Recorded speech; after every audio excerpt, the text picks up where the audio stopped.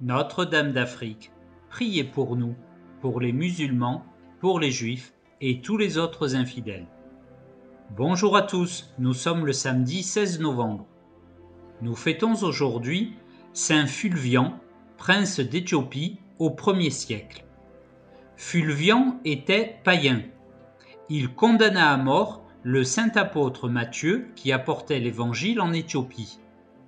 Mais, comme le prince vit deux miracles se produire, l'un avant et l'autre après le martyr de l'évangélisateur, il se convertit et prit le nom de Matthieu lors de son baptême.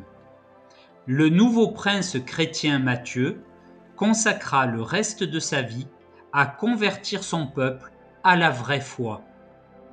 Bientôt, Fulvian Matthieu abdiqua et fut ordonné prêtre, puis évêque. Demain, le 17 novembre, ce sera le sixième dimanche après l'Épiphanie, c'est un dimanche transféré.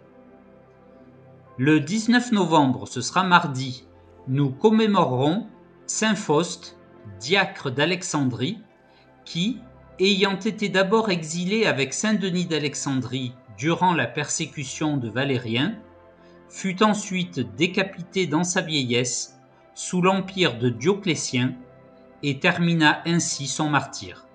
C'était au IVe siècle.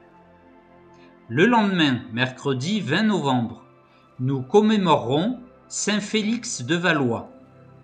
Félix, appelé d'abord Hugues, naquit en France de la famille royale des Valois. Il donna dès le plus jeune âge de sérieuses marques de sa sainteté future, surtout pour la miséricorde envers les pauvres. On retiendra de lui qu'il est, avec Saint Jean de Mata, le fondateur de l'ordre de la Très Sainte Trinité pour la rédemption des captifs en 1194. Cet ordre a libéré au cours des siècles des centaines de milliers de chrétiens retenus en esclavage par les Mahométans sur les côtes africaines. Jeudi 21 novembre, ce sera la présentation de la Sainte Vierge au Temple. Cet épisode de la vie de la Vierge Marie se trouve dans le protévangile de Jacques. Il montre que Marie est bien prédestinée à devenir le temple vivant de la divinité. Anne et Joachim voulurent remercier Dieu de la naissance de cet enfant. Ils la lui consacrèrent. Lorsqu'elle eut trois ans, Marie fut conduite au temple.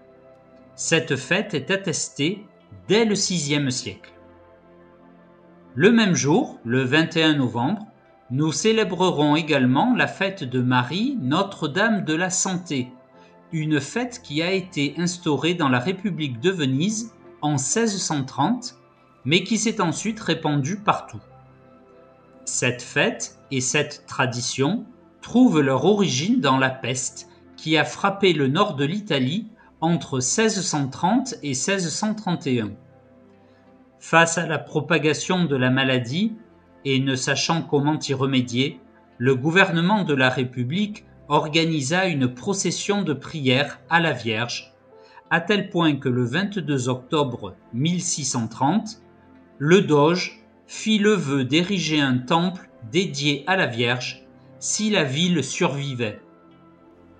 Quelques semaines plus tard, l'épidémie s'effondra brusquement et en novembre 1631, l'urgence épidémique fut déclarée terminée. Dès lors, il fut établi d'appeler la Vierge par le titre Notre-Dame de la Santé. Le doge respecta son vœu et une basilique fut érigée. Il est temps maintenant de dire les prières pour la conversion de tous les infidèles. Je m'agenouille.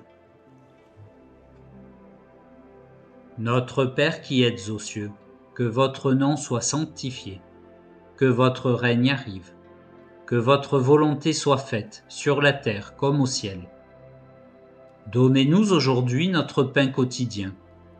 Pardonnez-nous nos offenses, comme nous pardonnons à ceux qui nous ont offensés. Et ne nous laissez pas succomber à la tentation, mais délivrez-nous du mal. Ainsi soit-il. Je vous salue Marie, pleine de grâce. Le Seigneur est avec vous. Vous êtes bénie entre toutes les femmes, et Jésus, le fruit de vos entrailles, est béni. Sainte Marie, Mère de Dieu, priez pour nous, pauvres pécheurs, maintenant et à l'heure de notre mort. Ainsi soit-il. Gloire au Père, et au Fils, et au Saint-Esprit, comme il était au commencement, maintenant et toujours, pour les siècles des siècles. Ainsi soit-il. Cœur immaculé de Marie, priez pour nous et pour les pauvres infidèles. Je m'enlève. Merci pour vos prières. Faisons preuve de persévérance. Disons les prières et l'invocation chaque jour. Il faut dire aussi chaque jour la prière à Notre-Dame d'Afrique pour la conversion des musulmans. Je vous donne rendez-vous samedi prochain, le 23 novembre, à 9h. Je vous souhaite une bonne journée et un saint dimanche. Au revoir.